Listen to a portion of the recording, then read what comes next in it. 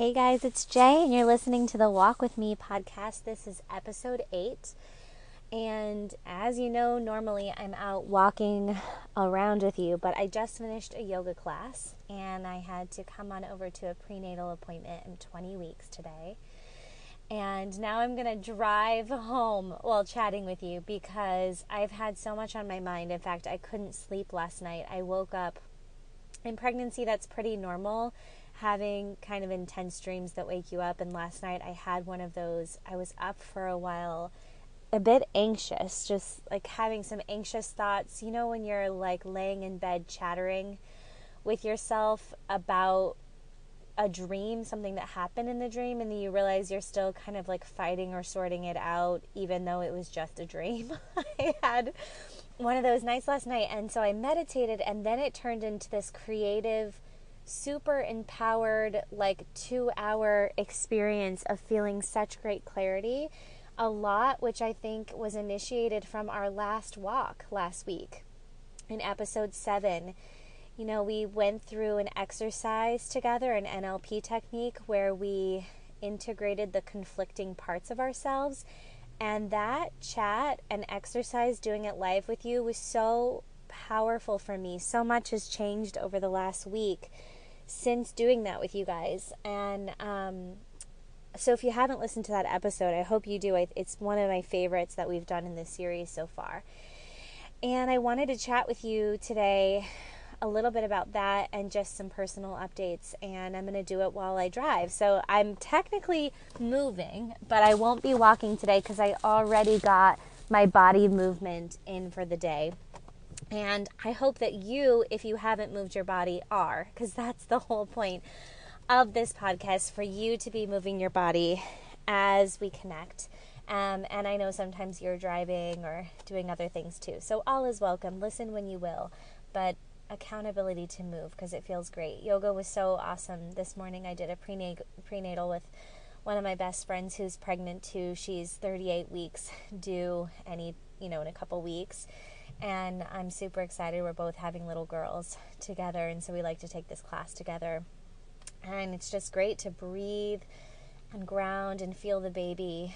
And um, I needed that today. I needed to be on the mat and keep myself on the mat because after last night's download, I just have been feeling so inspired. So, since last week, I have had this realization that in this series so far, I think I've been focusing a bit on my own healing. I've been sharing techniques with you that I teach the women in my life coach training program, and I've been showing you how I've been using them in my personal life as I'm going through this identity change, as I'm processing still grieving the loss of my mom. In fact, yesterday actually was her birthday, so it was a really kind of intense day. And one of the, um, well, I'll get to that in a second. So, um, the technique last week, I just realized I've been focusing a little bit on my mess and the instability um, and the curiosities and the need for grounding through through these changes I'm going through and what I'm trying to set up with my business with a new relationship to my business, a new and deeper integrity within walking my talk and my work around feminine leadership and my business model. And it was after last week's exercise that I didn't feel so messy anymore. And I actually realized sometimes we're good at that. We focus too much on the mess and we don't honor enough the parts of ourselves that really are quite sovereign, that really do know what they're doing, that uh, really are already doing awesome.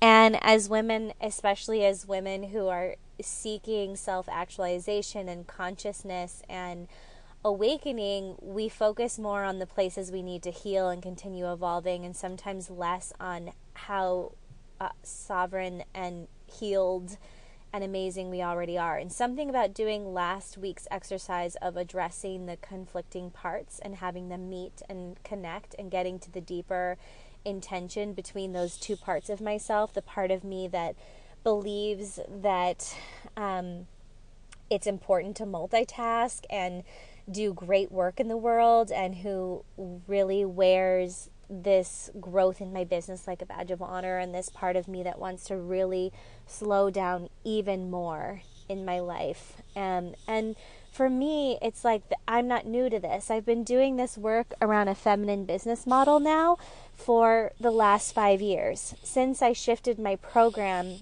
Mentor Masterclass, to become more about cyclical living and recognizing that as women, we are meant to work and thrive by not numbing out our emotions, by giving space for healing, by noticing that we have a monthly cyclical cycle. And I switched the whole program of Mentor Masterclass to run in a cyclical way that honors our actual periods and harnesses the momentum of the moon and helps to create an actual model for women to learn and go through a training that doesn't uh, run based in a man's world, created by women for women to thrive. And I really walk my talk in that area. And so this isn't new for me, although in some form I've been talking about this change I'm going through as if it's new on the podcast. And what is new is I'm getting into deeper integrity and higher levels of leadership around this concept, around this recognition that we really are taught in our society to focus on things like living up to high expectations and working as hard as possible and not being so emotional and really trying to thrive and be at the top of everything that we're doing in our life. And that the thing that will make us happy is our growth and our accolades and our successes. And the more, you know, sort of uh, celebrations that we have on the side of achieving things, the happier we're going to be and the more successful we're going to be. And I'm moving into a different belief that it's okay to have the courage to be ourselves and do life in our own way based off our unique expectations. And allowing ourselves to embrace pleasure and play and allowing myself to create more intimacy with my family and friends and allowing myself to fully express my thoughts and feelings and to stop really focusing so much on my service to the world through my work as my main source of um, of feeling like I've achieved or like I've arrived. And that shift is one I've been working on, but I'm coming into a new level of leadership. For the past year, I launched something new last year a series of in person retreats and workshops with women, three themes that go together. And my hope was that women would get out in person with me because we're so stuck behind our four walls. And living our isolated lives. And even when we do go to business conferences and workshops and things like that, oftentimes we're doing it because we want to grow our businesses. And the intention behind the personal development and the retreat itself is to grow our businesses.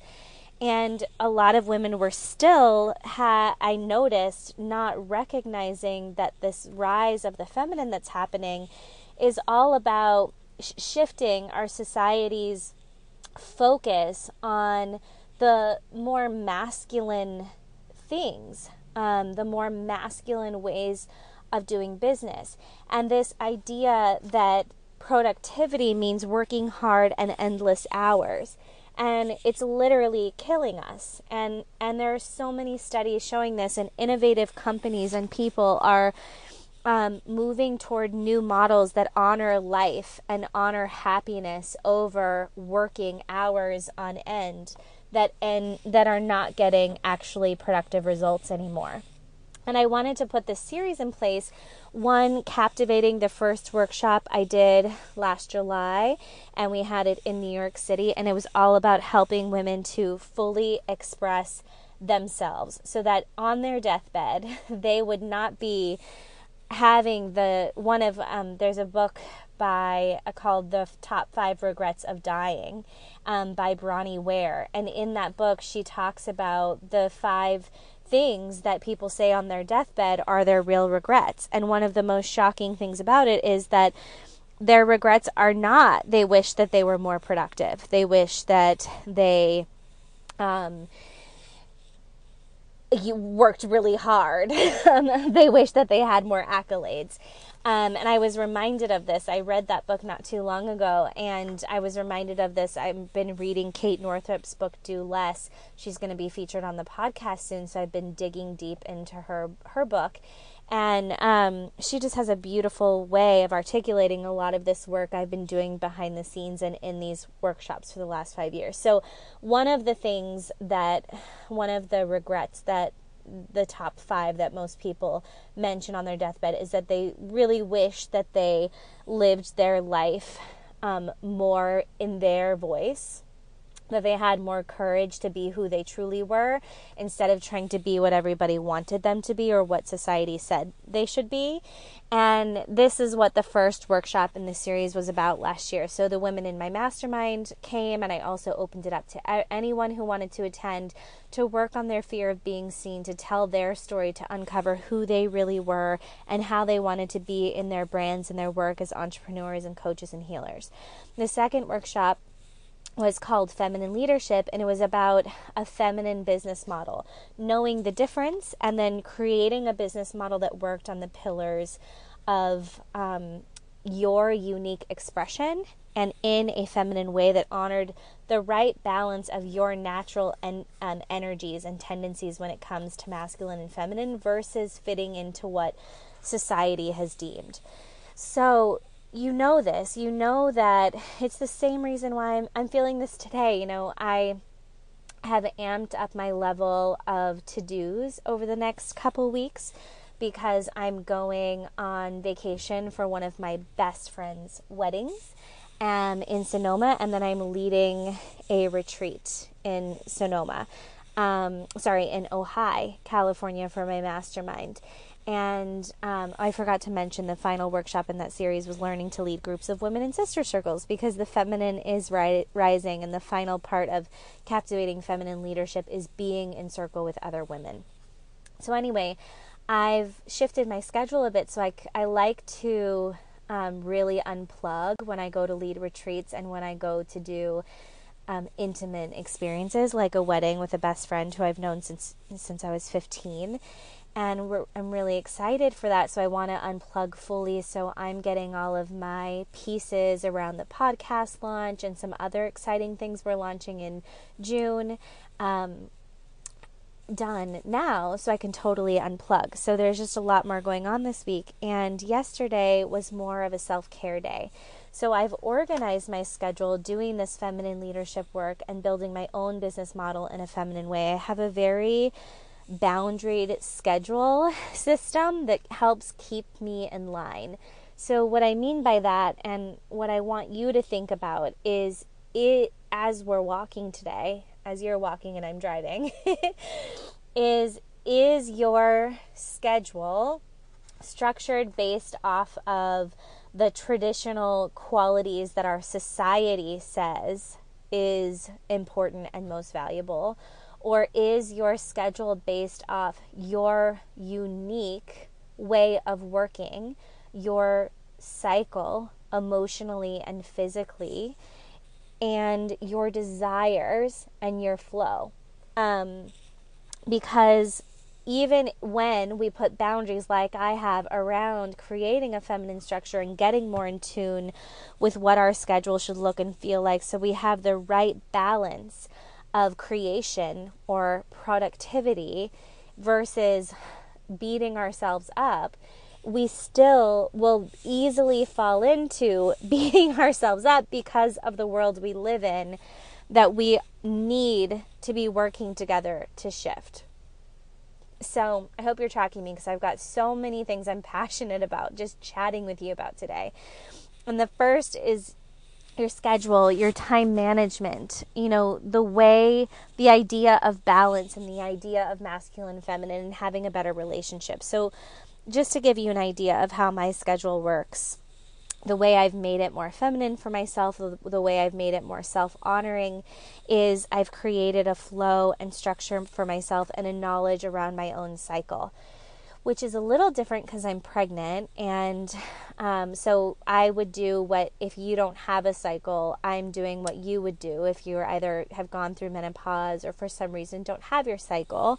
You would go off of the moon because as women, we track with the moon our bodies are connected to the ebb and flow of gravity and water. And that's amazing. So once you know that, you can harness that. So basically, I've designed my whole schedule and flow on a day to day basis and on an annual monthly basis based off the seasons to so that my productivity and my devotions and my focus are in alignment with that paired with some deeper des- desires. So for example, I personally, and this is like the opposite of Brent, my husband, ha- I like to be immersed in something.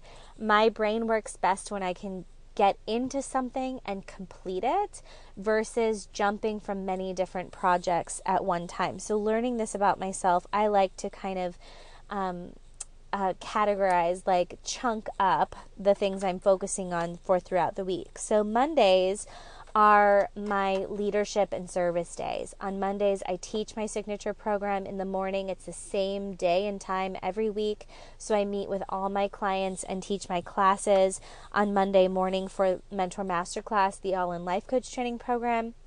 And then I have a break.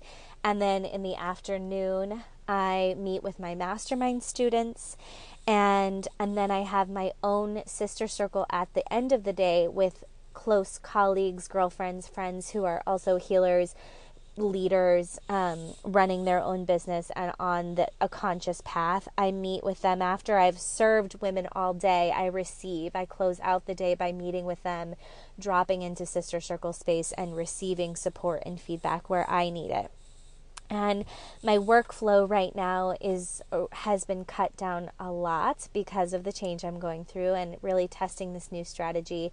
And so I only work while Violet is in school and she's in school from 9:15 to 1:45 and then I have that sister circle call for an hour later in the evening where Brent takes Violet. So I'm really only working about 4 hours on my business. Um, fully on Mondays. And it's pretty awesome to see that the world, in some regard, people who are thought leaders are catching up to the fact that we can't be in a high state of concentration on things and actually really be productive and creative and successful in our work um, if we are working more than four or five hours a day total. And a lot uh, what's making me so frustrated right now is that there are so many women who are not empowering themselves like I'm working to do and like many women are working to do. In fact, I can think of 3 women off the top of my head that I had conversations with this week. One is a client who works in a in corporate America. She's a leader, runs a whole team. Someone quit in her company and she's been added a, ton of extra work in her workload. So she's been just working a lot more hours and had a lot higher leverage tasks and things to do. And she's been given no raise or compensation for this. Same thing with my care partner for Violet. I have a woman who comes now, she's coming just once a week um, to work with Violet, and she is also a manager at a big restaurant here in Connecticut. And two people quit. So so her, her other manager quit like a month ago and someone hasn't been hired yet and she's been carrying the workload and then someone just didn't show up this past week, a supervisor, so she had to step in. Meanwhile, she's got a health issue going on that is incredibly concerning and needs her devotion, and is why she took a day less with Violet. And yet, this corporate structure, she feels like she has to show up, like it's her responsibility. Again, no pay raise or compensation or energy exchange for the extra hours that she's putting in. Um, and same thing with another woman who. Um, with her own business, her team is not cutting the slack. And so she's had to pick up in the middle of the launch all the extra tasks because the woman she hired is not actually turning out to be as capable as she thought. And so her first reaction is to just do it herself. And this is happening constantly. And there's a way that we even think, I think, in our psyche that we're doing the right thing. These women kind of wear it a little bit like a badge of honor that they're pulling all the slack. And there's this general lack of consciousness that this is not okay, that it's absolutely not okay to have no energy exchange, to not be compensated for your work, to um, to to multitask and to be addicted to the hustle and to do things that wear you out um, is literally dropping our IQ, is literally when we're logging 40 plus hours a work week, there's evidence being shown that it's let we're that we're we're and we're not taking breaks by the way we're like powering through. There are studies showing that people who regularly take breaks who work less who prioritize their happiness are getting a much more productive incredible results than um, than these people. So it's like these companies are also being poorly run. And it's because there's this still this thing that we as women need to work together to do to break through this pattern of thinking that success comes from being um, from me, from me doing it all by myself, and from me showing up and just being awesome and overworking myself. Um, that that you know the other things that are masculine type ideas are that things come from outside of us, the answers come from outside, outward. That the um, external things that we're doing that we have to have and commit to, and no matter what, stick to a certain schedule or structure. That what's really important is what we get done and what's on our to do list and what we can check off at the end of the day versus how we feel and how we're showing up and who we're being. Um, there's this kind of black or white mentality in the masculine world that doesn't leave lead way for any in between way of solving problems or going after something or even asking for what you need. There is this idea in the masculine structured world that everything is about what you produce and the in between doesn't matter. Um, it's about be doing it yourself and being better than or in competition with others. It's really like attack mode and power through mode. It's very much head thinking, like logical based thoughts. Um, and it's all about producing. Whereas what we really want to be leaning into, and this is what I've was talking about with my own schedule is a more feminine approach to our work. And as women, we have to be supporting each other and fighting for making the shift by doing it in our lives first. We have to understand what it means to as a woman and to honor our bodies and our self care and bring that into a greater society belief and that's what I've been going through in this is the the deep layers of that. So like I said, my schedule I've been doing this. Tuesdays are another day of jumping into connection with my clients. So uh, once a month I jump into sister circle and lead really intimate sister circles for anyone in my programs where we get to talk about our emotions, our feelings, our business strategy and support each other in self-care and doing it together. One of the qualities of time and, and productivity from a feminine business model standpoint is that it's not about me, it's about us. It's about collaborative um, breakthroughs, and that we find those through working with each other and other thought leaders, and through receptivity, receiving support and the genius from others around us. So Tuesday is all about working with my clients in that way. And then when I don't, when I'm not working with my clients, it's my creative day to just really spend my time um, focusing on the most important things you can focus on in your business, which is creativity and really having time to talk about your ideas and work on your ideas. That's the greatest place of focus as an entrepreneur is to get to have space with those. And, um, you know, the feminine business model is about being able to honor yourself without powering through, be, uh, allow yourself to be affected by seasons and cycles, working less, experiencing a greater sense of ease and freedom in your daily life and schedule and focuses so that you can be more creative and actually produce high level results. And um, then what I do every Wednesday is I take a full on break to be with my daughter and go on adventures and play because she's so important to me right now. And that's why I'm having to get even more in integrity with myself around walking my talk and knowing how I'm going to lead this mission and this work in the world. Um, and so I need that midday break to not focus on work and serving my clients or even be focusing on my own healing, but to focus on fun and play and being a mom. So so she goes to school now. So in the morning, today's Wednesday, I'm filming this. I do yoga. I do any self care stuff. So I've got chiropractor today. I had my prenatal appointment, um, and then I pick her up from school and we choose an adventure to go on. And I'm just all in present being with her, so that by the end of Wednesday.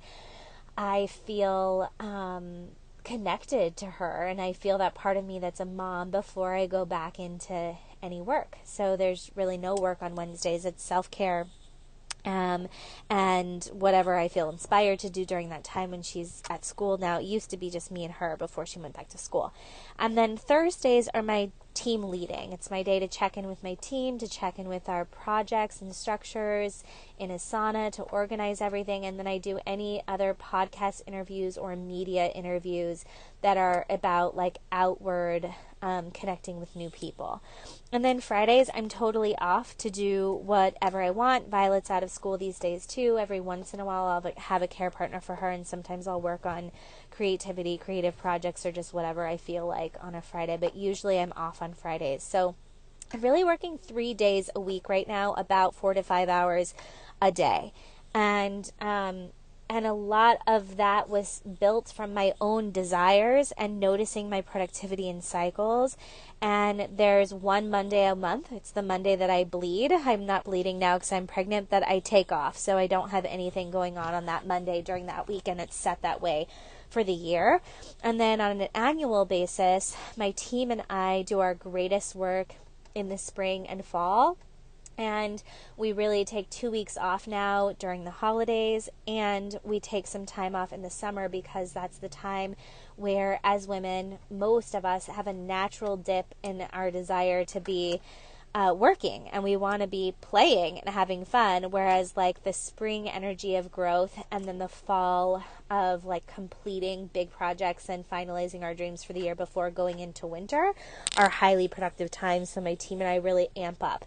And no one on my team works more than 20 hours a week in their role. And I'm certain that we communicate and support each other and run our business this way. So, some of the qualities when I'm helping my clients too to create their schedule and their business model, especially when starting a new business, when leaving the big corporate America masculine world and trying to re identify themselves and reorient themselves around a feminine model, it's about being self honoring and nurturing. It's about tuning in to our own intuition and innate wisdom to make decisions and to move through our day. It's about honoring our cycles. It's about looking not for black or white, but for all the in between puzzle pieces that fit together to solve problems. And it's not about the outside um, and the action, it's about the intrinsic experience we, we're creating for ourselves, with and for other people, and within the world. And there's room for emotions to be processed and noticed and held and worked through as a part of our jobs. And it's about not what we create, but it's about the journey. It's really about every moment of being in our work in the world, creating our business model, putting our brands out there, um, really focusing on the experience and the process and creating systems and structures, yes, because the feminine needs um, a container in order to thrive so it's not always complete chaos. And that container can be created from flow and receptivity and by working through it with community and together. And I recognized something last night, and this might bring up some emotion for me. You know, the reason I had this creative burst, you know, on my mother's birthday is I was thinking about that book and the top five regrets that we have when we die and wishing that we had the courage to live our life more fully and do the things we really want to do and have the career we want to have that's an expression of our gifts and talents and our education that we've pursued our that the achievements that we've had that are unique to us in our life and really wishing that we weren't working hard that we were working to love what we're doing and really wishing that we expressed our feelings through the process and wishing that we had deeper intimate relationships and wishing that we focused on letting ourselves experience pleasure and happiness. Now, I was thinking the biggest trigger and trauma for me since my mom's death is, and I always comes up, like even in yoga today, we are doing breathing exercises and the way that my mom died, she we're not exactly sure. Can you believe it's been 5 months and the autopsy report is still out? So there's still question about exactly what happened, but she was um, a pill addict and she did have mental illness and she had been drinking again. She used to be an alcoholic and drug addict, had been clean for many years. The past five years had started drinking along with taking many different psych meds and pain meds and all kinds of things. And it, she's just been a, a mess for the past five years and she's been falling a lot. And what we do know is that she died having fallen in her apartment. She was naked, and the water was left running, and um, she had been dead for two days.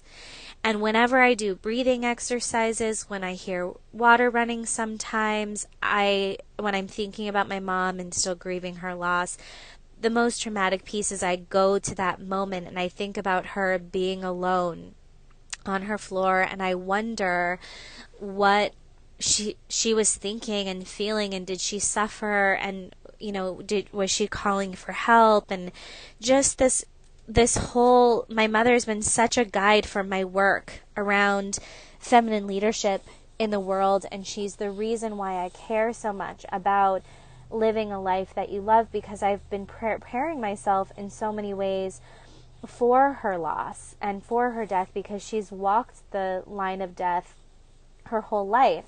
And, you know, my mom didn't have the courage to express herself. You know, I think about times that she tried. She went back to nursing school and there was a man there, um, her supervisor, that failed her because she was too emotional.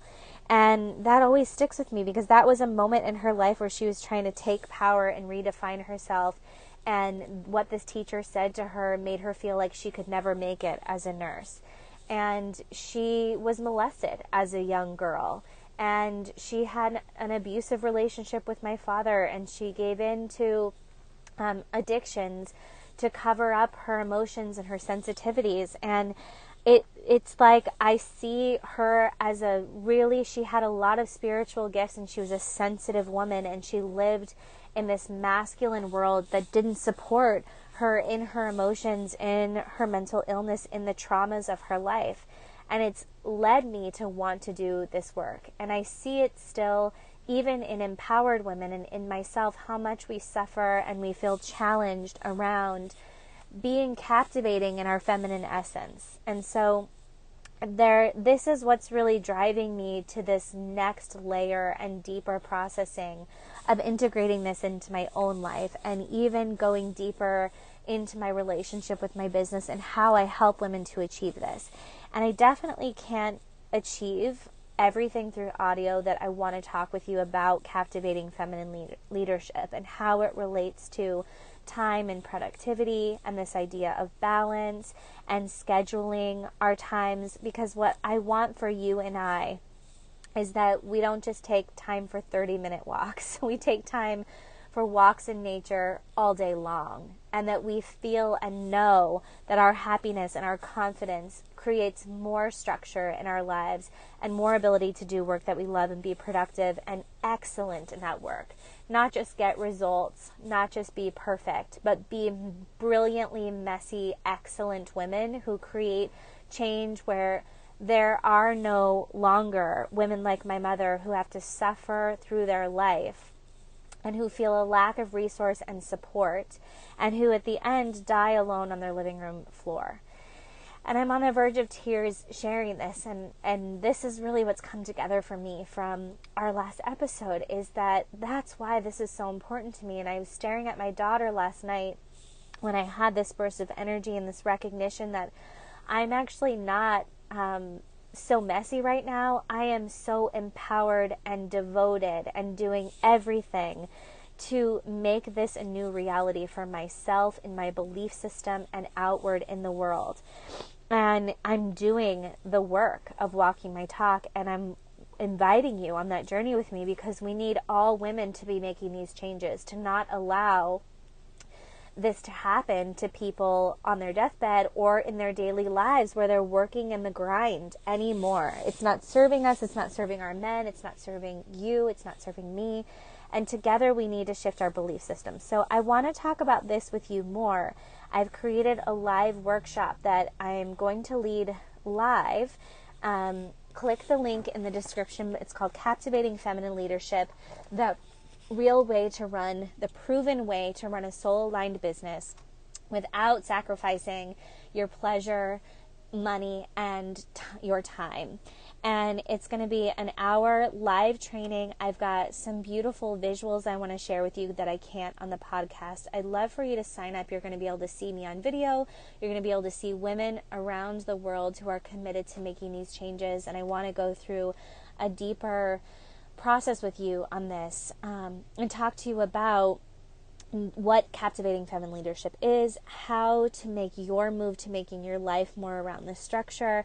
And I also want to get into in our next podcast episode um, before the live uh, webinar um, sisterhood and circle work and storytelling and the importance of that in our lives and sharing our thoughts and feelings being seen for your gifts and as a result allowing yourself to be sought after and connected and magnetic in your work and a part of making a difference in the area of things that matter most to you. So I hope that you'll sign up now and join me for that live webinar. And if you can't make the live, what I'm going to do is after we run it live, I'm going to turn it into an EverWebinar that still runs live, meaning eh, you'll be watching the video of me, but other women will still be joining live in a time zone just in case you can't make the live version in your time zone with me. You'll be able to make a version live with other sister and sisters and women around you live going through it so that you can play in the chat box and really go through it with me. So again, the link below for the Captivating Feminine Leadership 101 webinar is in the description of um, this podcast on iTunes. You can find it on the blog. It's free to sign up. I want to have a deeper conversation with you and go into some other practices when you can be sitting at the computer or on your phone in a place where you can take some notes and really deep dive with me. Um, and that's that's what I wanted to just get thinking about together our relationship and our beliefs around what feminine leadership is and to encourage you and to let you know that it doesn't matter where you're at whether in your mess your mess of your own life healing like I am and thought I was, there's still a part of you that, just like me, is sovereign and your leadership is needed and valuable, and you are ready to stand for this and to walk beside a sisterhood of women who are committed to making our lives more about the experience and the process and better and less about the way we beat ourselves up.